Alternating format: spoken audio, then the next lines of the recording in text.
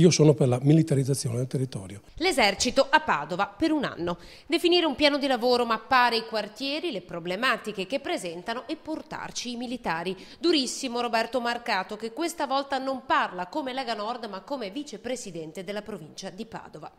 In zone come l'Arcella o altri quartieri dove mh, le nostre ragazze, i nostri ragazzi, gli anziani eh, dopo le 6 di sera non hanno più il coraggio di uscire perché ci sono delle bestie che fanno gli spacciatori, che ti urinano sulla porta e, e, se tu fai notare loro che non si può urinare sulla mia porta, questi ti minacciano quando va bene. Il Comune sta dando un segnale politico sbagliato, secondo Marcato. Anche il Comune di Padova, dedicarsi troppo alle politiche dell'accoglienza, del, del buonismo in momenti come questo è profondamente sbagliato. Mandiamo l'esercito là, lo, lo, lasciamo là sei mesi, un anno, bonifichiamo, chiediamo a questi signori che cosa fanno dalla mattina alla sera, se non danno una risposta caricati in una camionetta e mandati via. Perché non è più solo la notte a fare paura qui in città, quattro episodi di violenza su sei si sono consumati alla luce del sole. Beh, eh, una, uno che ha commesso un omicidio volontario va messo in carcere, buttata via eh, la chiave.